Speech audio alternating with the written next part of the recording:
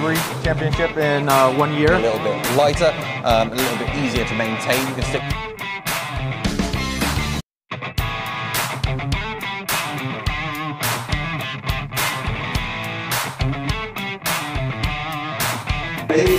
Oké, we zijn bij de Element Boot en vandaag wil ik het even hebben over de nieuwe afstandmeters die op de markt hebben gebracht. De Helix, de Titan en de Rangefinding Module.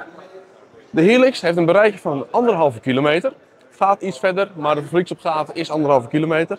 En we hebben al eerder afstandsmeters gehad. Het is gewoon een laserafstandmeter, bliep, en dan geeft de afstand aan.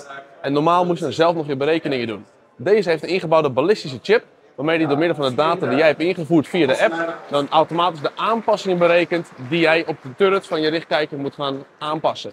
Waardoor je dus je kogelbaan erop voorberekent. Deze zijn ook in de uitvoering voor de Titan. Die is wat forser, even wat groter van formaat, waardoor ze ook meer vermogen hebben kunnen stoppen. Deze heeft een bereik van maar liefst 3 kilometer.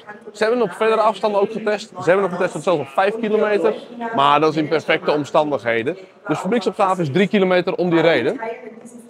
Dan heb je ook nog de Rangefinder Module. Een beetje aparte naam naar mijn mening. Deze heeft een beeldschermpje achterop die dan direct aangeeft. Dan zet je op je wapen, bovenop je richtkijker, op de zijkant waar je maar wilt. Uh, dat moet je ook uh, zeren naarmate van jouw uh, inslagpunt natuurlijk, of op jouw richtkijker of een uitleiding, dat goed gaat.